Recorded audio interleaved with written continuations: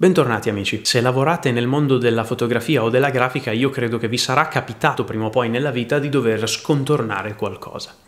Molto bene, sono sicuro che sapete già da video precedenti come si scontornano le cose su Photoshop, non sono altrettanto sicuro che sappiate come si fa a ottenere lo stesso effetto su un software un po' diverso che è quello di Illustrator. Oggi vi faccio vedere proprio questo. Andiamo a scoprire come si fa a realizzare una maschera di ritaglio su Illustrator. È una cosa che può sembrare complessa, ma vi assicuro che se sapete come farlo risulterà tanto facile quanto lo è su Photoshop. Inoltre, in alcuni casi potrà risultare anche più immediato. Ovviamente è un utilizzo diverso che si fa dello strumento perché su Photoshop potremo andare a lavorare con dei pennelli per rendere la maschera molto personale e andare a rivelare o far scomparire delle aree ben precise con anche degli strumenti di selezione che servono a riconoscere pixel di colore o di luminosità diversa. Su Illustrator non c'è niente di tutto questo, su Illustrator possiamo semplicemente decidere che avremo un'area visibile e un'area invisibile o possiamo decidere di avere un passaggio morbido tra ciò che è visibile e ciò che è invisibile, quindi lavorare con un gradiente, però è sempre un gradiente direzionale o radiale che però non ci permette di fare personalizzazioni con i pennelli. La Lanciamoci all'interno dell'applicativo e andiamo a scoprire come funziona.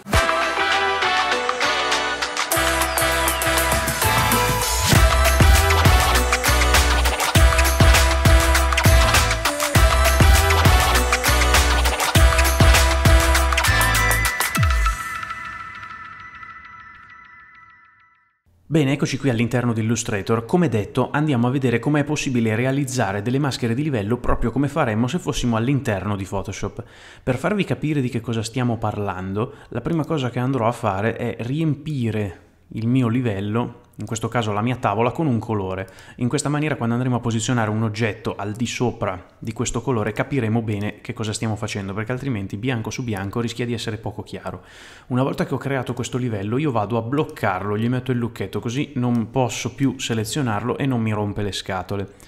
Andiamo a vedere che cosa succede nel momento in cui io trascino una risorsa dentro nel mio documento e questa è una risorsa PNG. Quindi è una risorsa che è già scontornata, che viene già privata del suo sfondo in partenza. Questo è un caso privilegiato quando troviamo una risorsa in PNG o quando realizziamo noi uno scontorno in Photoshop e poi abbiamo la risorsa scontornata, possiamo lavorare in questo modo semplicemente trascinandola all'interno e non dobbiamo fare sostanzialmente niente per avere il nostro oggetto scontornato sullo sfondo. Ma che cosa succede invece se abbiamo a che fare con una risorsa come questa? Vedete che quello che succede è che qui abbiamo una risorsa che ha uno sfondo. Questa lavatrice, uso una lavatrice perché è una cosa che mi capita molto spesso di dover scontornare per lavoro, questa lavatrice viene con uno sfondo bianco ed è in formato JPEG, quindi è un file che non è scontornato automaticamente. Allora, andiamo a vedere che cosa possiamo fare. Intanto lo centro semplicemente per abitudine. All'interno di Illustrator è possibile realizzare delle maschere di livello proprio come se stessimo lavorando con Photoshop. Il procedimento è molto simile, infatti quello che andiamo a fare è che andiamo a prendere la nostra penna e tracciamo il contorno della nostra lavatrice. Adesso qui lo possiamo fare in maniera più o meno precisa, dipende da quanto è importante il lavoro. Ovviamente in questo caso capite bene che il lavoro per me non è particolarmente importante perché è solo per fini dimostrativi.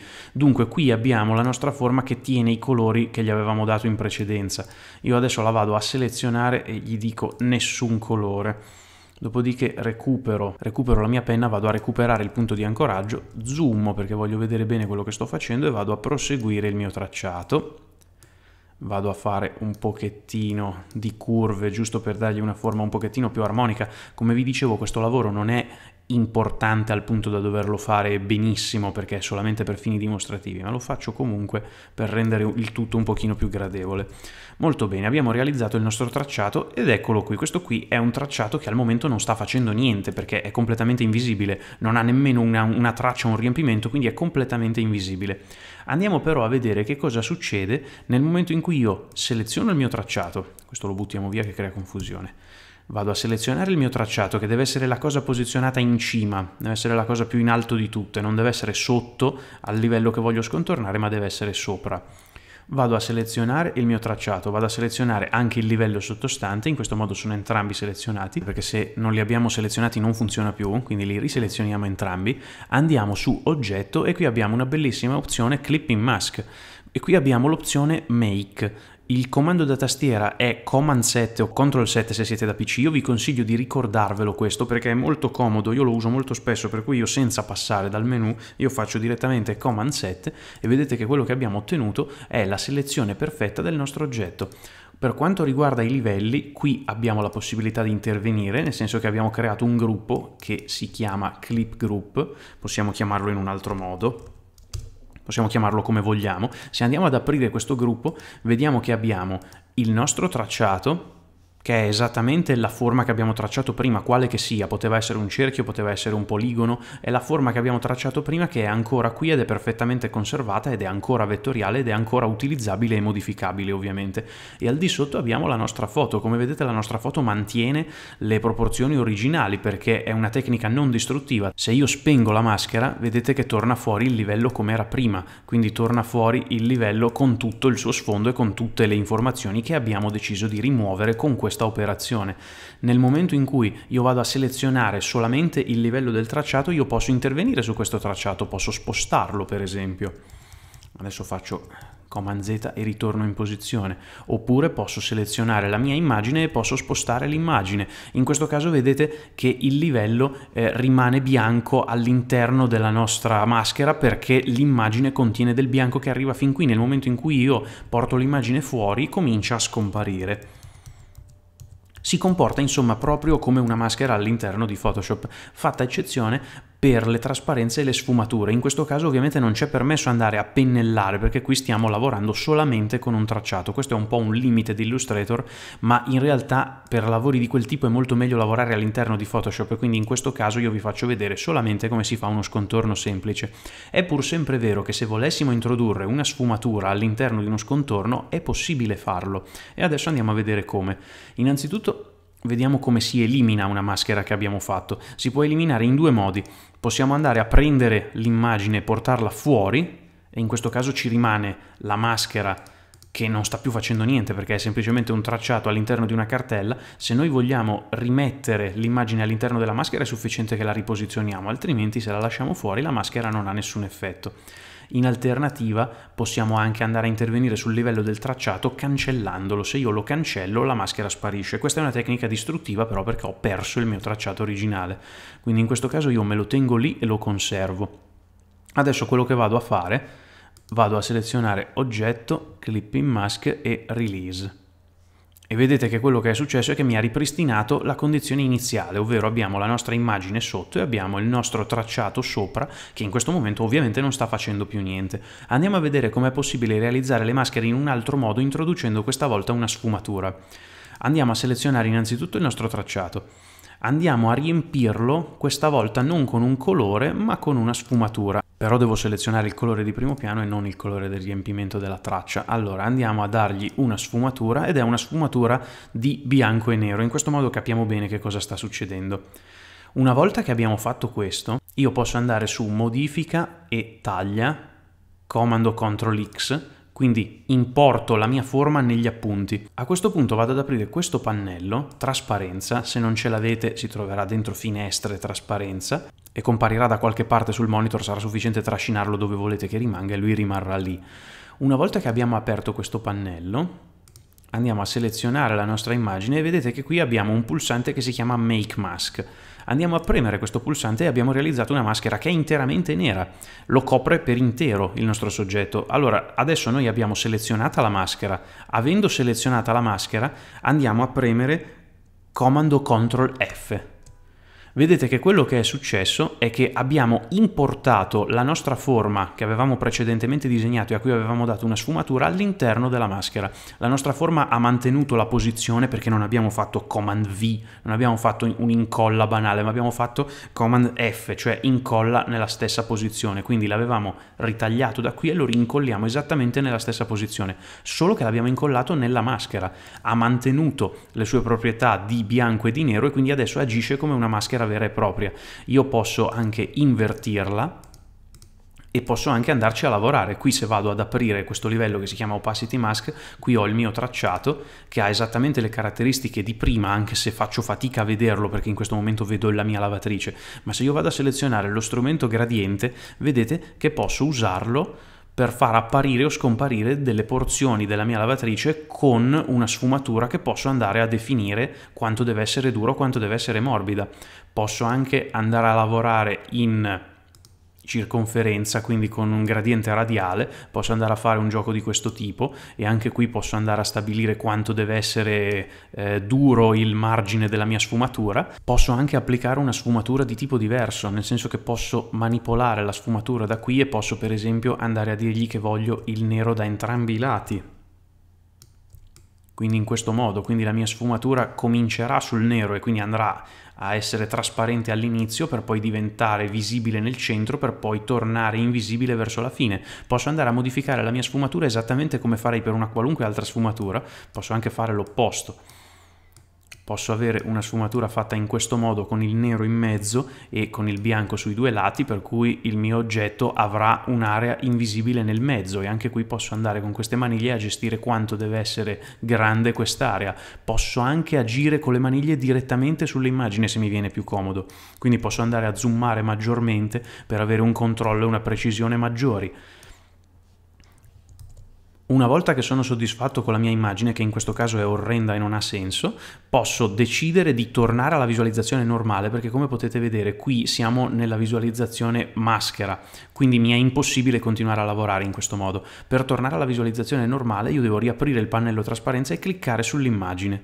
In questo modo Vedete che siamo tornati alla condizione di partenza, io qui ho la mia immagine che ha ancora le sue informazioni sotto, posso prenderla e trascinarla perché la maschera si muove insieme. Se voglio tornare a lavorare sulla maschera, devo tornare sulla maschera in questo pannello e vedete che il pannello dei livelli cambia e di nuovo sto lavorando sulla maschera.